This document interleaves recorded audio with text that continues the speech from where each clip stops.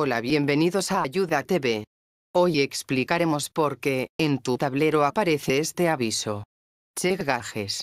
Obviamente el aviso está en inglés el cual quiere decir revisar los medidores los cuales se encuentran en el tablero de tu auto.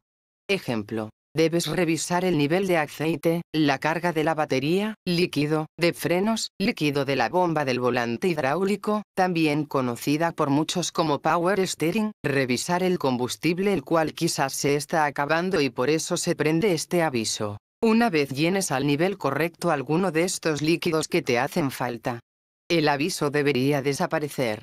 Si no es así entonces necesitarás quitarla con un escáner. Esperamos la información haya aclarado tus dudas.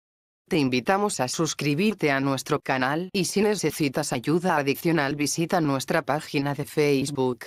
Somos Ayuda TV. Tu canal de ayuda. Hasta la próxima. Gracias por visitarnos.